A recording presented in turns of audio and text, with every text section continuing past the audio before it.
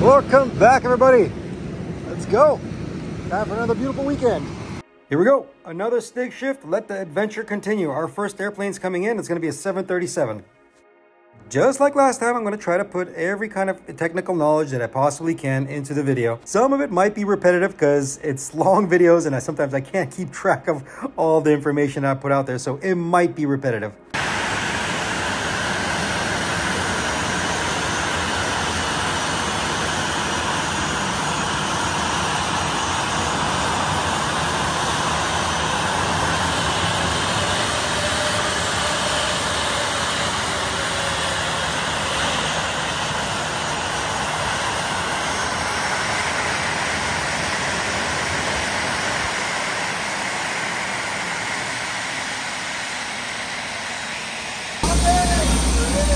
Quick little visual, make sure everything's a-okay.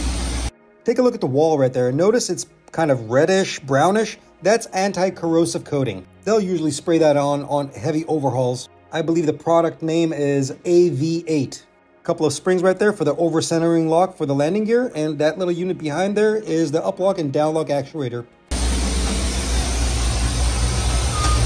Oh yeah, and give you a nice little reference chart. This is how you would uh, service the nose landing gear. Right from here, there's a little Schrader valve. As you saw, there was a big placard right there to show how to service the nose landing gear strut. Again, this is only used for reference that you can glance at, but most of the time, actually 100% of the time, we have our manuals right there with us. This is an Oleo strut, air oil hydraulic shock strut. And time to time, we do need to service the struts because they do get either deflated because of deteriorating seals inside of there, or sometimes the strut itself bottoms out, or if there's some kind of a leakage that is permittable, but we can still service it. Don't worry, it's monitored. And yes, the aircraft can land on a completely deflated strut. It's capable of doing that. The airplane can take the punishment. The procedure itself is very easy. It's very simple to do. 90% of the time, it's not actually a leaking fluid. It's actually leaking the air or nitrogen, I should say, because we service it with nitrogen. Into consideration the height of the strut, which is the X dimension right there, as well as the temperature outside, then we can determine how much pressure we need to put into the strut. We would simply hook up a nitrogen source to the valve stem you saw earlier right there, loosen the Schrader nut right underneath it, start filling up the system until it gets to sufficient level. There are some struts that you might have to service from the top and bottom because they have a floating piston inside. For example, the 320 family main landing gear strut is configured like that. So you have to put pressure at bottom and the top, and there's fluid inside there as well. But that's a whole different topic. Let's keep going. Go.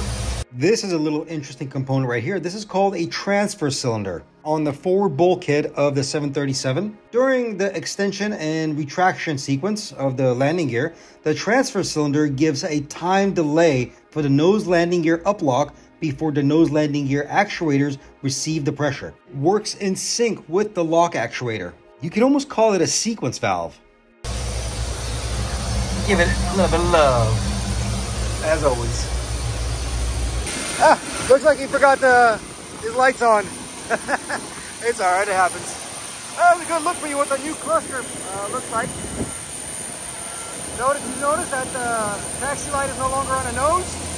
There it is, it's all up there now. Even the lights on the belly are not there anymore. It's all up here now. Anyway, let's check the oils, brakes, tires, the usual.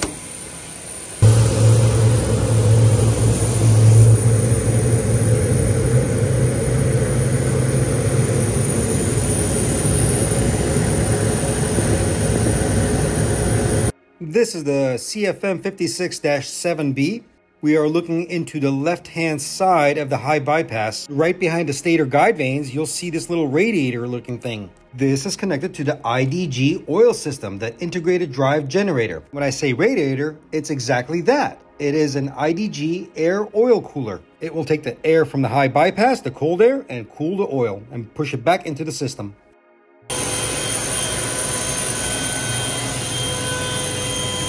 Okay, this is the main wheel well of the 737, so bear with me. This is really interesting. The pitch attitude of the aircraft. Also another one of these little gauges that has the roll of the aircraft. There are two instances when we are actually using these gauges. Number one is when we are manually measuring the amount of fuel that is being put into the aircraft. To know the pitch and roll of the aircraft to understand how the airplane is sitting and how fuel is being distributed. We use charts and manuals to calculate all this information. Number two, This is also used when the aircraft is being jacked up. I want to make sure the aircraft is nice and level. There's also an option for a plumb bob, which you can hang right up there, and it will point down to this right here, which says nose up and nose down. There you go. That's all that's for. A very rudimentary, very analog way of making sure the airplane is nice and level. As a side note, more modern aircraft has digitized this. You can read this through the aircraft parameters in the flight deck.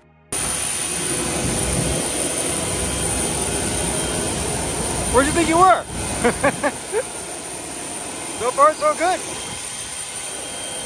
I was walking by. This is pretty interesting. This actually comes out of a uh, 320 family, and this is installed inside the forward cargo pit.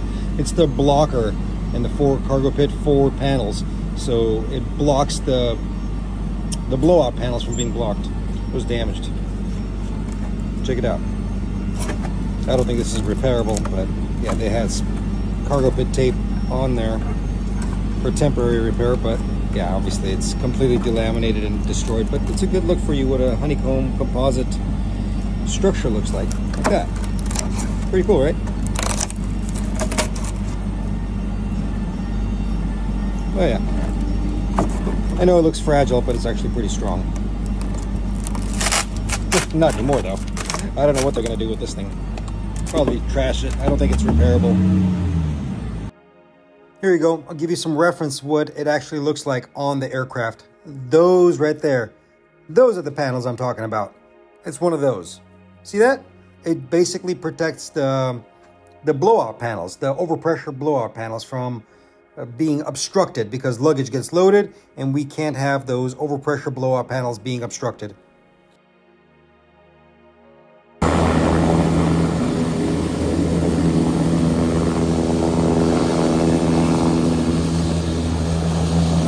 I had some downtime in afternoon, no airplanes around, so took a little stroll. Caught this beauty. I'm not much of a general aviation guy, but I think this is a Pilatus.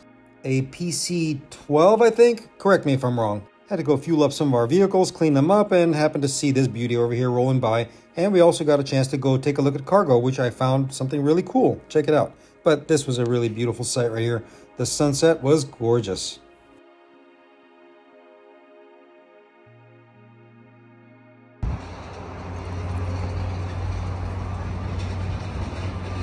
We didn't have any extravagant supercars today, but what we did have is this interesting thing. This must have been somebody's project, for sure. But heck, it's a Bugatti, come on. And I don't even know what this is or what it's gonna look like in the end, but somebody is uh, putting a lot of hard work and labor into this thing. It must be something very rare because I've never seen one of these. Heck, it's even got the original Michelin tires. Look at that thing. Almost had no rust, even had the original fuel tank. It was quite amazing. Somebody's going to put this back together and it's going to cost a lot, I guarantee you, because you don't see things like this every day. I'm glad that car enthusiasts are bringing back old history back to life. So, you know, these things should be restored. I mean, it's a, it's a beautiful thing. Over to the side, they had these fancy ATVs. I think this is made by Polaris. Uh, it is right there because it's written right there. But these were pretty fancy. Nice. Not only one, but actually there were two of them. Somebody's really expensive souped up Bronco right there. I don't know where that's going, but these were pretty cool. I looked it up. Pretty hefty price tag on those things.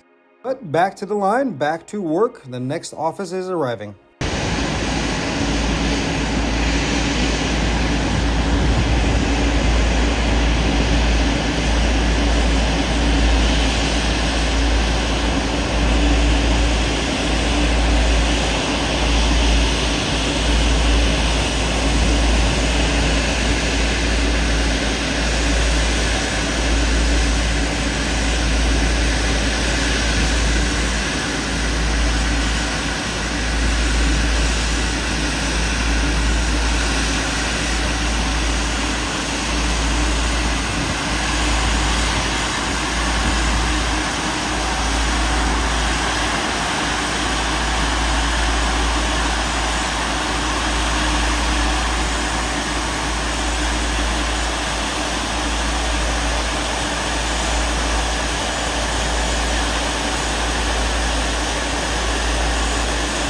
Get the question of how do you get the shots like this? Guys, just the zooming on the camera. Don't worry, I am nowhere near that engine. And also to make mention, I know not a lot of people enjoy the engine sounds, but whoever does, I try to accommodate. So a little half and half to please everybody. Alrighty, just got done servicing these engines. Need a little oil. This one's going out to Heathrow, so we're doing a full ETOPS check on this. My partner's already doing a walk around outside. I got the inside today. Well, let's go. Hopefully we got no write-ups. Well, gotta change that oxygen bottle. That's a little too low for ETOPS limits. All right, time for fun. So I get the common question is what is ETOPS? ETOPS is extended twin engine operations or in short, extended operations. It's for aircraft that are flying prolonged amount of time that are equipped with only two engines. So there are very specific checks on that. I've made a video on that as well. Please check it out. It's there buried in one of my other videos. In regards to the oxygen, not every single carrier has the same specifications. But for our carrier, the minimum oxygen PSI is 1350 PSI. So anything below that, we need to change the oxygen bottle. Let's go. There you go.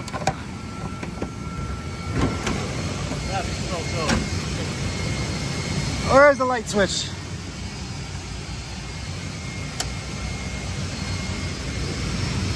Welcome to the main equipment bay of the 777. This should be fun.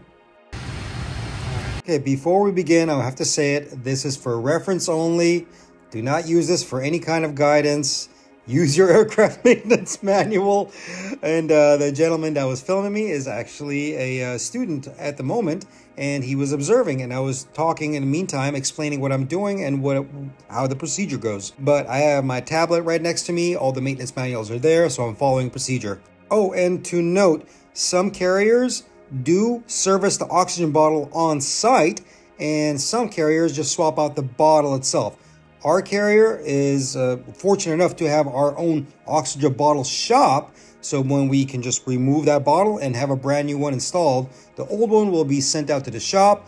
They can reservice it, hydrostat it, or hydrostatically test it, and then we'll have a bottle for replenishment. So that's how we do it over here at this station, but other stations do it differently. So again, it just varies. Okay, let's proceed. The little wire you see me pull is called a witness cable. I'll talk about that later towards the end of the procedure.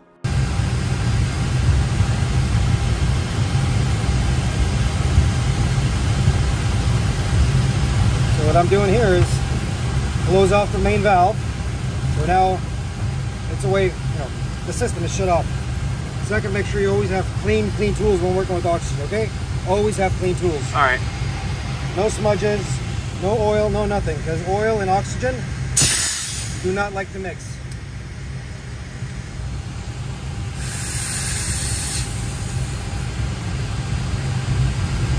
That's the main supply line right here. Take that off, put that aside. Put the cap on.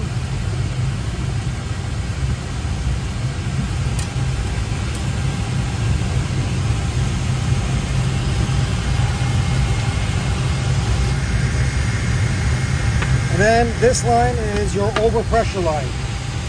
So the overpressure line is for if there was, let's say, an overheat in the in this area, you don't want this bottle exploding in here, right? So you want it to dump overboard. So it will dump overboard from here. Okay. Overpressure.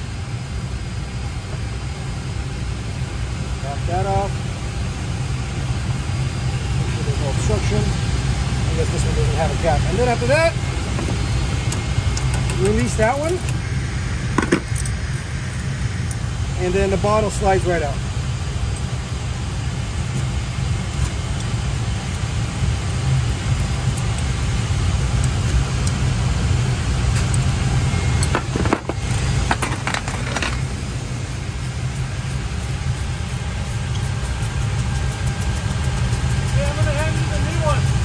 What's that?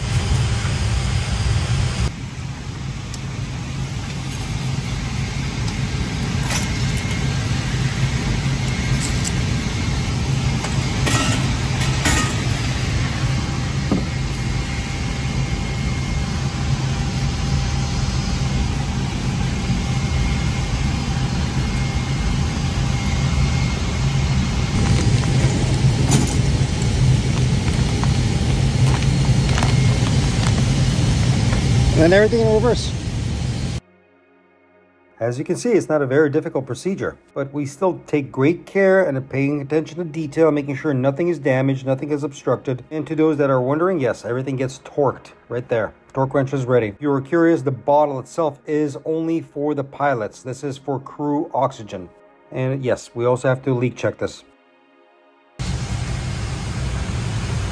Okay, this is very important. Take particular attention on how I'm angling that crow's foot wrench. Notice that I am not going directly onto it. I am pointing it at a 90 degree angle. Reason for that, because at a 90 degree angle, I will get true torque out of that torque wrench. If it was straight on to the, the nut itself that I'm tightening, that means I have to do calculations to compensate for the lever angle. You go straight on and you set the torque, you're not getting the proper torque. There's a formula for this. I can't recall it, it's in my manuals, but when you want to torque something, especially at an angle, make sure it's at a 90 degree angle. That, mean, that means it will exactly correspond to the torque that you are setting onto the torque wrench. Otherwise, you better do the calculations. There's calculations for a 45 degree, uh, calculations for 180 degree, which is straight on. But that's very, very important. The reason why it's important because you don't want to under torque something and then you don't want to over torque something. You want it to be correct. There you go.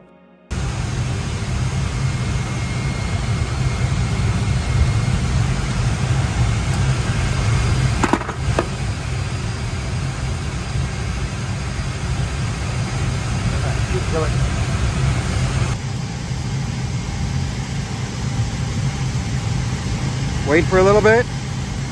That is a full bottle of oxygen, close to 2000 psi. You cannot go willy-nilly and fully open up that bottle immediately. You will surge the system and damage it. Quarter turns, wait a little bit. Quarter turns, wait a little bit. So what you'll see is a bunch of bubbles. If there was a leak, you'll see a bunch of bubbles all over the place. Because this is soapy solution. After everything installed, we have to perform a leak check because the bottle system is open, everything is properly torqued. Now we want to see that, you know, there's no leakage happening. And there wasn't. No bubbles, no problem. Easy. Oh, before I forget, this thing is called a witness wire. It's basically a notification, a visual cue that the bottle has been opened. It's a breakaway wire. That's all. It's just there to notify if it's been tampered with or loosened. Since we're here, let's take an opportunity to look at the equipment bay on a 777. And this is a 200.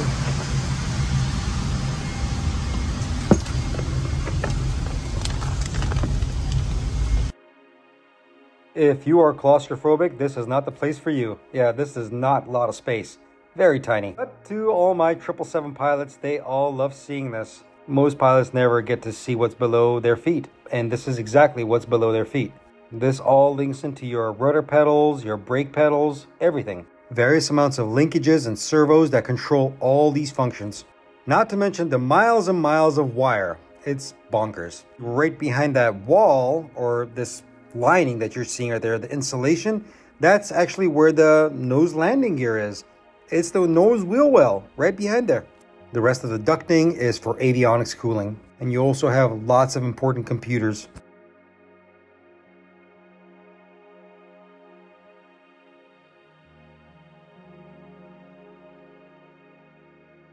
Pause it right here and I want to explain something. I want to explain why the 777 is such a special aircraft. Don't get me wrong, I love the 757, the 747, and the rest of the Boeing fleets, but the 777 is very, very unique in regards to its computer system, its data transfer system. You see all these computers right here, all these little boxes?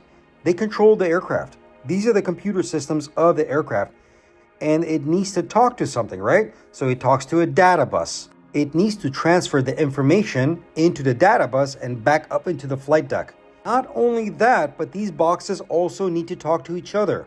And this is where the 777 shines. It uses a very specific data bus, something called ARINC 629. I can go into hours of talking of how these computers actually talk to each other, but let me make it simple to you. Imagine one singular conduit where all boxes tie into. That means every single system is talking to each other on one single bandwidth or a single data bus. You no longer have to have wiring from one box to the other, this box to this box, or that box to that box. Every single box just simply ties into one big data bus on one big wire, and all the information is shared throughout one network. That's how smart this airplane is. Now, sadly, for some reason, Boeing reverted out of this technology.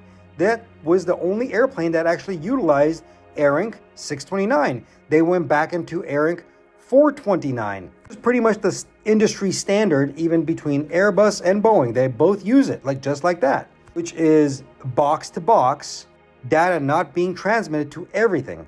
It's only whatever system wants to talk to whatever other system. It's very isolated. But in the 777, it's free flowing information between all computer boxes. So it's very smart.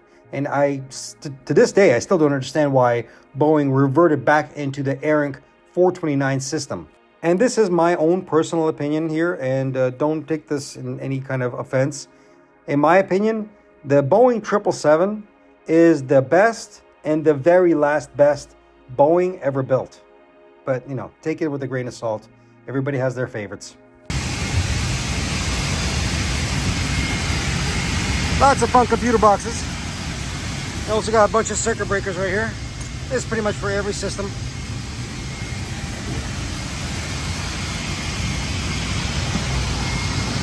That's where I came in from.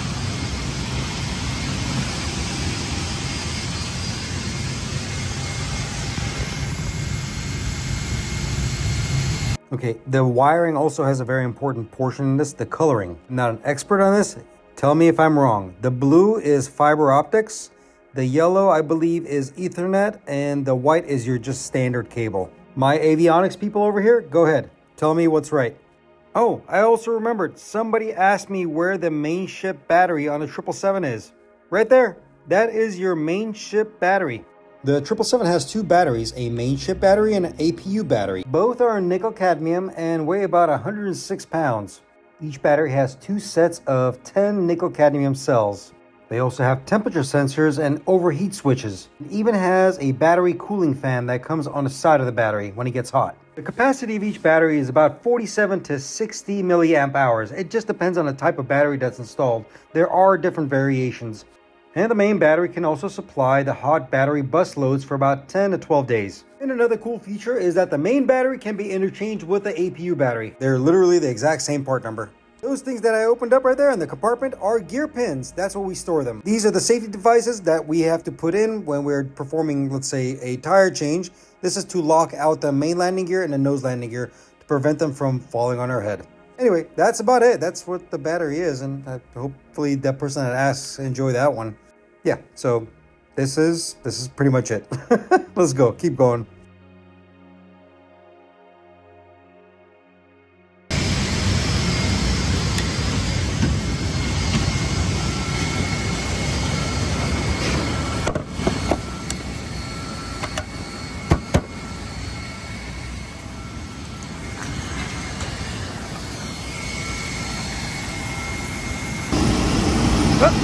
Nice easy day.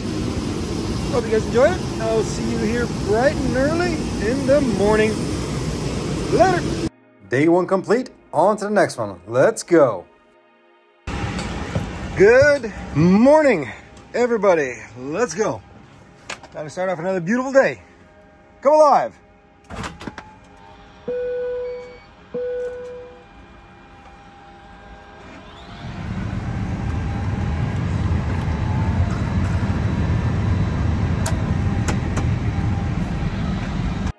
Powering up our birds, making sure everything's a-okay. But I got reassigned all of a sudden from domestic to international, so I had to run over to a 787.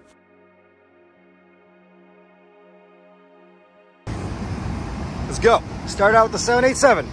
Good old plastic princess. Just came in from Haneda. ETOPS time. You know the drill.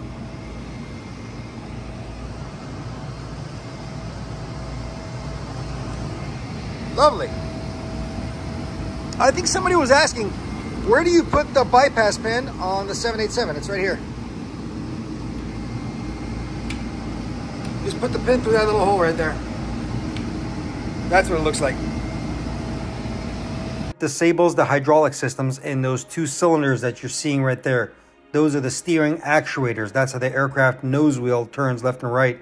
So when the aircraft is being pushed out or pulled in with a tow bar, they put a pin in there, it disables the steering actuation in order to safely bring the aircraft in or push it out. Come on, let's keep on trucking. Have a fun day.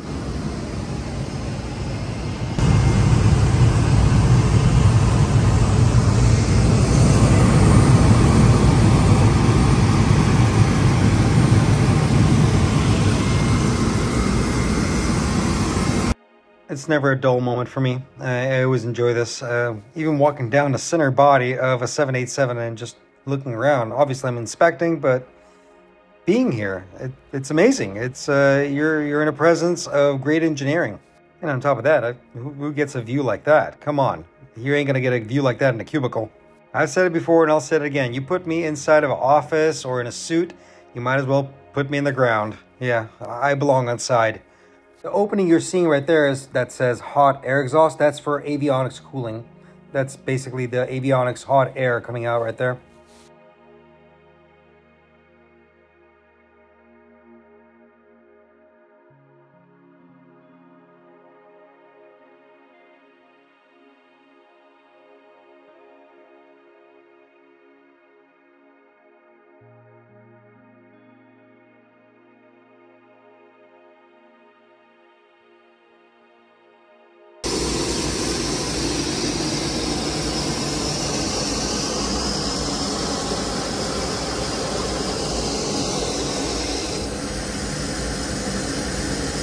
Okay, so this is a 787 wheel well, and I want you to take particular attention to that green wire that you see there.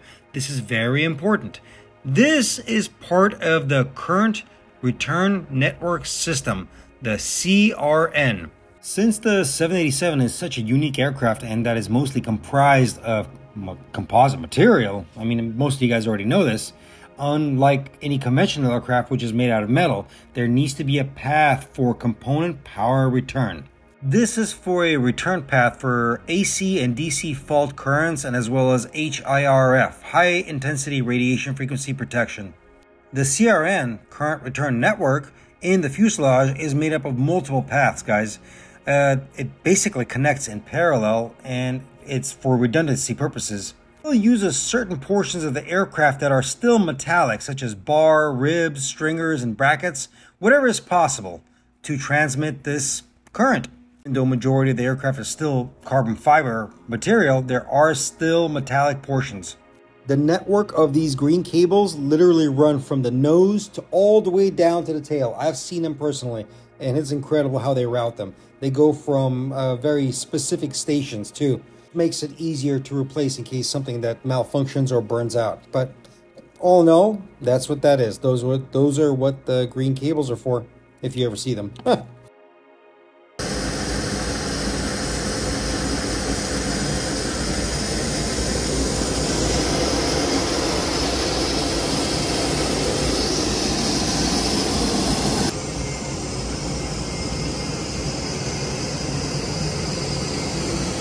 What a beauty!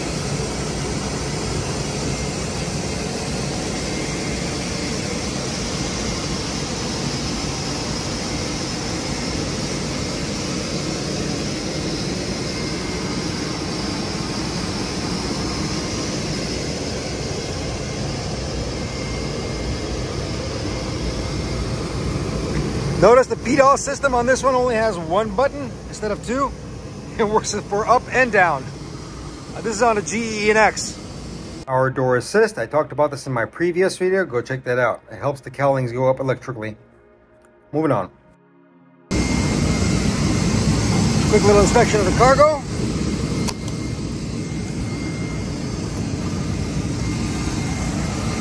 Open sesame!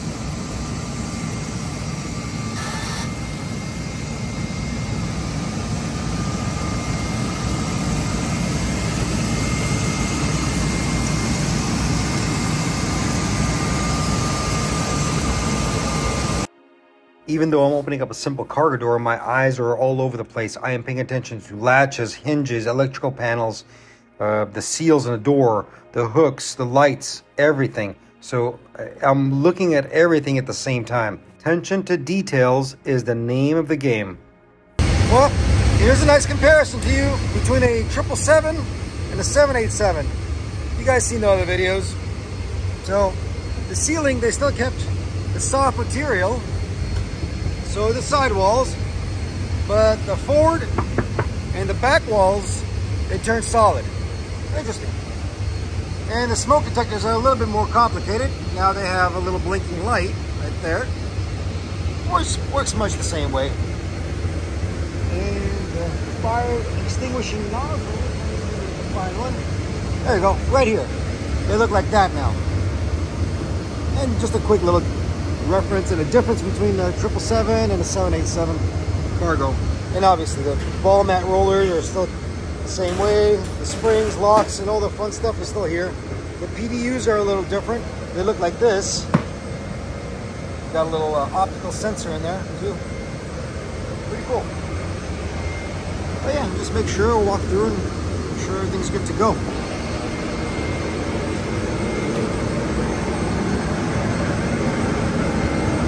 Sure the snaps are not undone.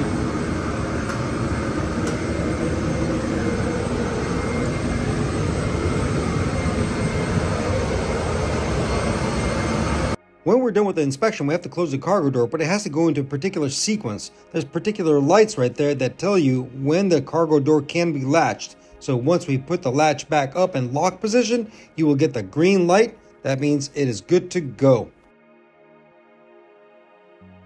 I also have to inspect the aft cargo pit, and this time I opted not to go to the main door, but the bulk cargo door. Here we are turning on the lights right here, and let's go inside. Let's check it out. Now, I may have shown this in the past. This is where usually bulk cargo goes, and bulk cargo is usually last minute luggage or even your pets because this place is heated. We'll take down the netting over here and go check it out. Or the main aft cargo, I should say.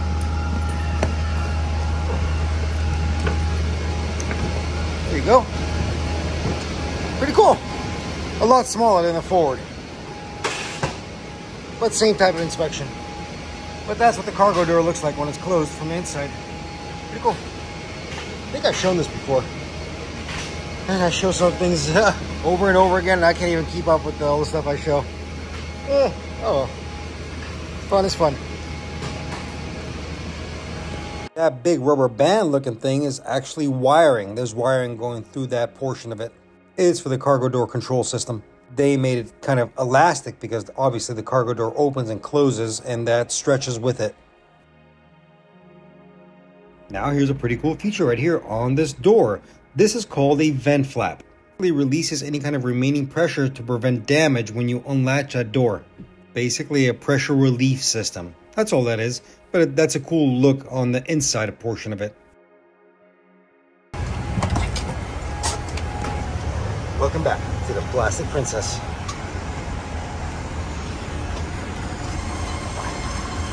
Everything looking good.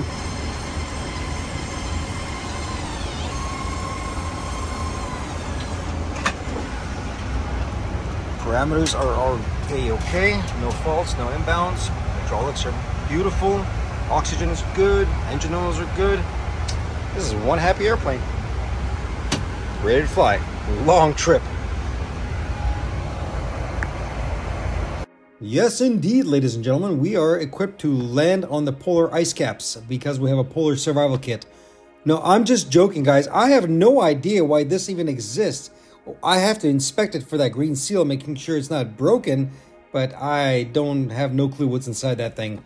I, I'm guessing it's for the flight crew or something, but I don't know where they would use this. And we are right back to the toilet system. I had to take this shroud off on one of the toilets on a 787. Some kind of a malfunction with the flush system and it was not basically sucking all the waste out. There is a switch, no, not on that side, Stig, the other side. There's a little switch there that you get to press and it will reset the system, but for some reason it wasn't working. We figured out later on that it was the flush valve itself. It was completely malfunctioning. I had to defer it. I had no choice. I even tried to reset it with the circuit breaker, tried to do a power cycle, which is a good representation right here of how virtual circuit breakers work, but still didn't work. Had to defer it. Guys, just to explain, I can't stand deferring things. Uh, I rather fix it, but sometimes I'm just not at the capacity to do it because I am time restricted on the line. Also, there's sometimes parts limitations. Sometimes I don't have the parts available. It's a negligible system that is not flight critical and that will not deem the aircraft unairworthy. We are able to defer it per MEL, minimum equipment list, and this is why I had to do this. But you know, it's one toilet. The airplane has multiple amount of toilets. Overall, the aircraft got dispatched safely. I got to stand in the jet bridge as we pulled away, which is a beautiful sight for me.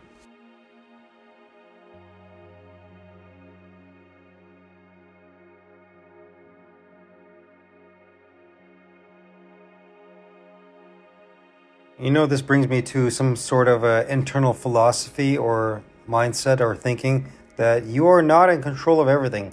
As much as you would want to fix things and want to make things better and make it work, sometimes it's just out of your control.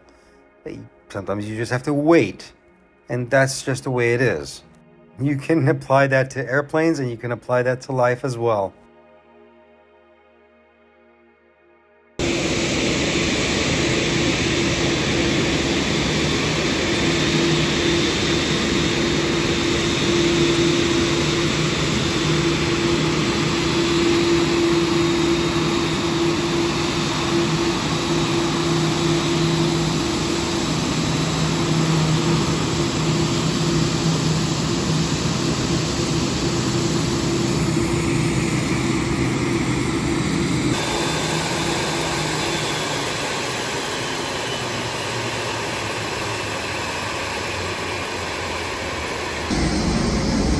Some oil.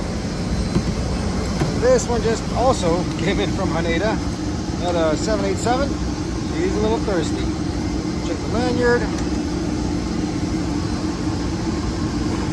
Seal is good. And we just simply use one of these. Come on. There you go. and we fill it up.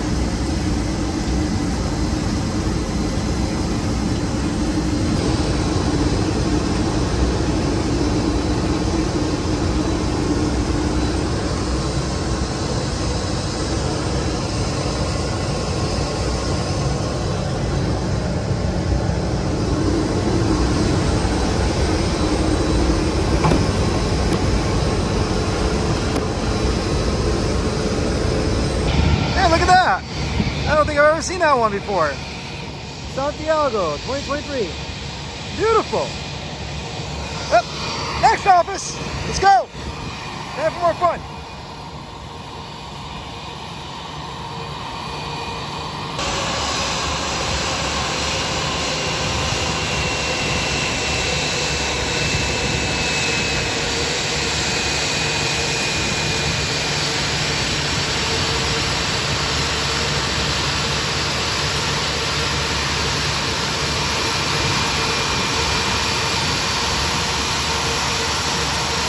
Enjoying the skies while I do the inspection of the wing. And as we are walking through it, we're paying attention to the static wicks, making sure everything's okay. There's no leaks, there's no damage.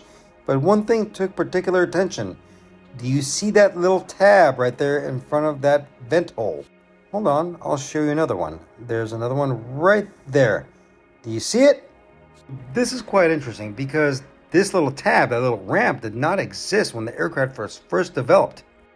In the beginning, that little vent hole used to make a lot of noise. Aircraft that were on approach or takeoff would make a very unique howling sound. Imagine as if you were grabbing a, a bottle a bottle of something and blowing air over the top of the bottle. That's the same noise it would make when the aircraft was either, either taking off or landing. It was becoming very annoying and very noise disturbance. So, what ended up happening is that Lufthansa Technik, which were the developers of the modification, said we needed to create a little vortex generator and they placed it right there. And guess what? It just simply deflected the wind away from that little hole right there, preventing that little whistling sound as you would make if you blew across a Coke bottle or something like that. You know, you know what I'm talking about. That little sound. That's that's what that was for. Is to prevent noise. Can you believe it? That little piece of tab is simply to prevent noise. That's all that was for. Funny. You know what's funny? I thrive on this kind of information because I sit there and I research and I try to read as much as humanly possible to understand why it was designed the way it was. And the funny thing is, there's answers to everything. Everything has a purpose. And to all you kind people thinking that I know so much, no, I don't. I am always a student. I am a forever student to aviation, always learning. Well, looks like that was CIDS fault. A quick introduction to this system. This is called CIDS Cabin Intercommunication Data System. There's System 1 and System 2. They kind of break them apart because it is such a heavy system. It deals with a lot. Everything from smoke detectors within the cabin, lights, emergency lights, cabin announcements, you name it. This thing basically almost talks to everything. At this particular moment, CIDS 2 system had faulted and it was a secondary fault. The white line at the bottom, because it's the bottom, not amber, it is a, we call it a class 2 maintenance message fault. Sometimes occurs because of a uh, bad power transfer, but it's very easy to clear. I'll show you right here. That's not a big deal. Do a little operational check. Not a big deal. Usually clears up. It happens from time to time during power transfer. There you go. Told you. No big deal. Just okay. Guess what? The fault is gone. Yeah, and sometimes the airplane, when it transfers power from one system to another, it glitches, but it's alright. The rest of that is going to go away because we're going to get the ADIRUs aligned. Watch, you'll see it.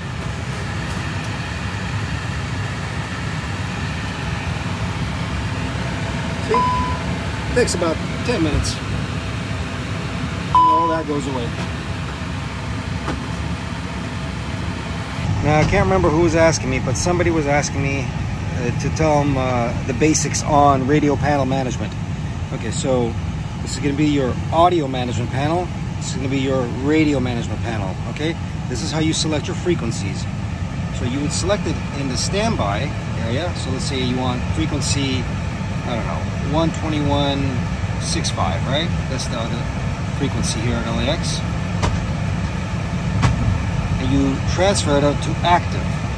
We're using VHF1 system. You can use VHF2 if you want. See? But we're going to use VHF1 for now. Then you click that. That lights up. If you want to hear it through the speaker, you go right here. Turn the speaker up. And then you put the volume up right here. And then you can start hearing them. Now 6.5 is not that active. 7.5 is more active. Let's listen for a second. India. Airwell 3240 LA ground tech via Bravo, Charlie 5 Charlie to the box. Bravo, Charlie 5 Charlie to the box, go 3240. Okay, so if you wanted to actually talk to them, if you want to talk to Tower on this frequency on VHF1, what you would do is hit that button. Once you hit that, then you grab your this mic or whatever is attached up there with your headset. You can cue it right here. You can talk to the tower on that particular frequency. And there's also various other functions. HF, uh, let's see now, cabin, intercommunications, all this, all the fun doodads, but that's, I don't have enough time to, explain all that.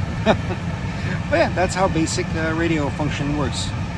Do it on VHF. Mostly pilots are using VHF1, so is maintenance. We're just using VHF1 or VHF2. Easy. And if you're wondering why it says 321 tail strike caution, because all 320 family look exactly like this. They literally look identical. You walk into a 319, it looks like this. You walk into a 321, looks like this. You walk into a 320, looks exactly like this. There's slightly small little variances and differences, but it's to remind the pilot that they're flying at 321, not at 319, so it's more susceptible to a tail strike. Yeah, and trust me, pilots fly different metal throughout the day. A pilot can fly a 321 Neo and all of a sudden jump into a 319, then jump into a 320. So once they're rated on one of those airplanes, they're pretty much type rated on pretty much all of them. Well, some more training in between, but they're pretty much type rated on most of the 320 family. But yeah, that's why it's there. Next. Well, I needed to clean my hands, and this was a perfect opportunity to give you a public service announcement. Ladies and gentlemen of the flying public, I love you all, but do me a favor. When you are using the restroom or the lavatories, please be courteous and clean up after yourselves. I'm really, really asking you nicely because it becomes very difficult not only for the cleaning crew, but as well as for maintenance to work in the environment when you leave a mess. It's very easy. Take an extra paper towel or the paper towels that you just used and just clean up around you. It's super easy. Imagine that you are in your own house. There you go. See? Just clean it up and throw it in the trash. Easy. Welcome back to the 737. uh, we're all over the place today. Get the engines a little bit of oil. This one actually stays here overnight. Let's do a little quick little walkthrough.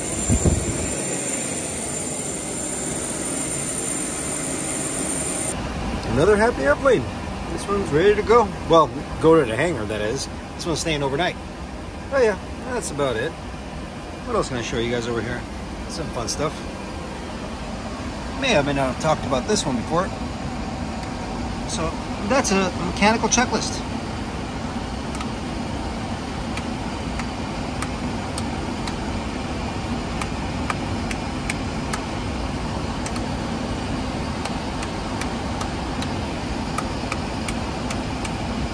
Where it would go the other way around, obviously. Because you would check them off one by one. Basically, in the po when the other 737s had it, they used to have them right here. But on ours, we have this option. That's pretty cool. Awesome. All right. Well, this is the last flight of the night. Hope you guys all enjoyed it. This one's going to the hangar, and I am going home. But I'll be back here bright and early in the morning. Have the coffee ready. Later.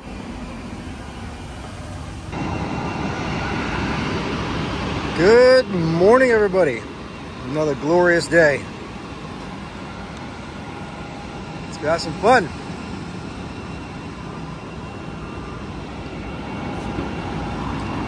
Next office, a beautiful 777-200. Take a look at that beautiful Rolls Royce. Put that right there. Don't forget it. Let's take a look down here.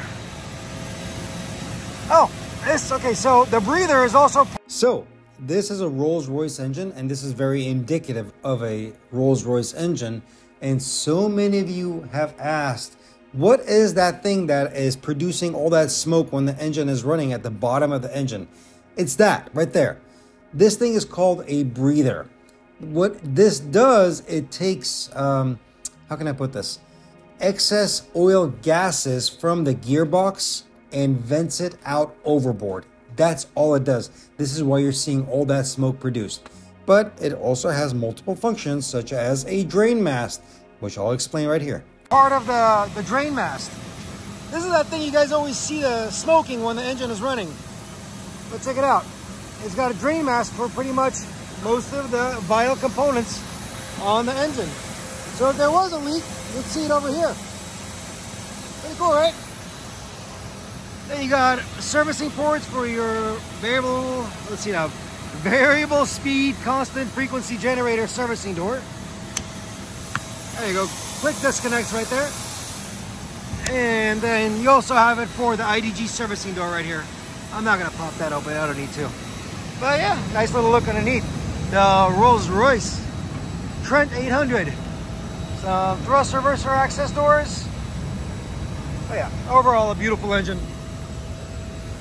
Thing is built like a tank.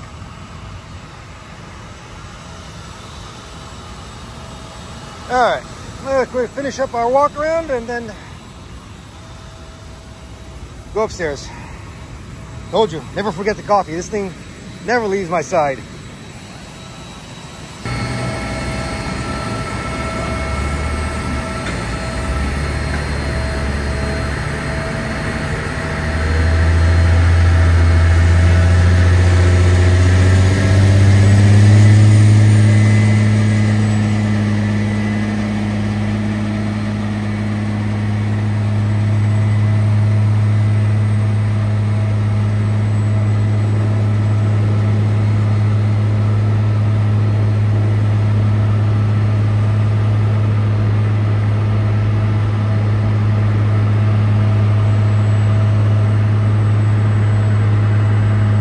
Done with that flight and I always like to sit back and just enjoy the pushback because it's a beautiful thing to see.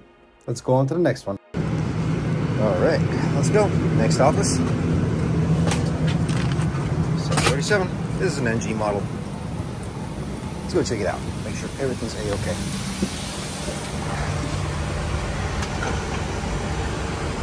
Hydraulics good. Engine oil's good. No inbound write-ups. What I like to see. He's a healthy bird. Oh, can't help myself. Come on, let's go. Switching to guns.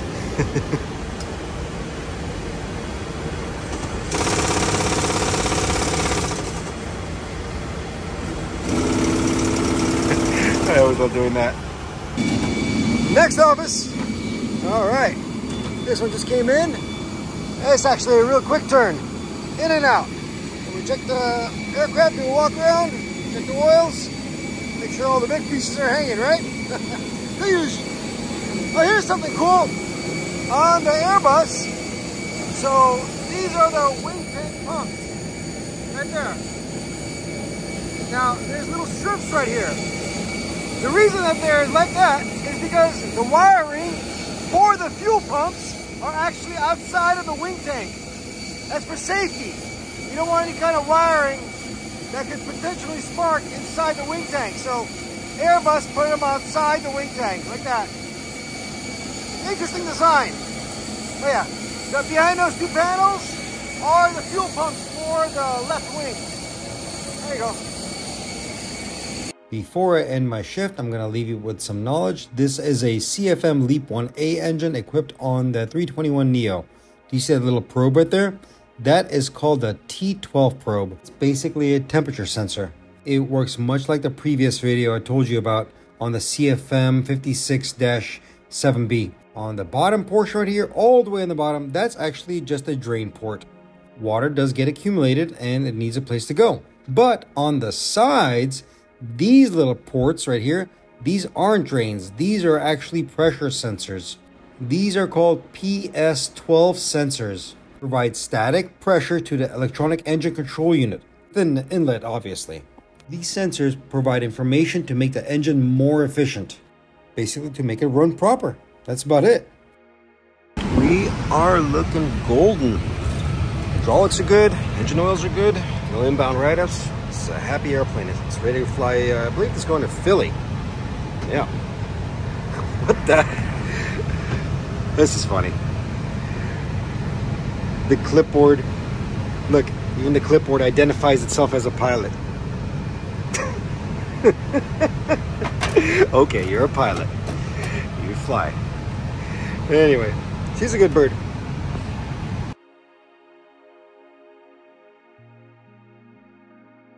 Well, what can I say, ladies and gentlemen? I hope you guys enjoyed this. Uh, this is the end of this week's journey. It wasn't that exciting, obviously not much happened, but you know, uh, I tried to show as much as humanly possible and uh, explain the details on certain systems. But if you have suggestions, please put it down there. I'll try to accommodate as much as possible. But once again, I just want to thank you. Thank you for participating. Thank you for being here, for partaking in this aviation journey, and for learning. I love the fact that we can all blanket ourselves in the comfort of aviation and we become like-minded. We we all become the same person eventually because we all start talking about the same things over and over again. It's funny like that, isn't it? Isn't, wouldn't it be wonderful if the whole world would be like that? Just talk about the same things and smile all together? I'd like that. I'd like that very much. silly thoughts from a silly man. Thank you all. I'll see you guys on the next adventure. Take care of yourselves.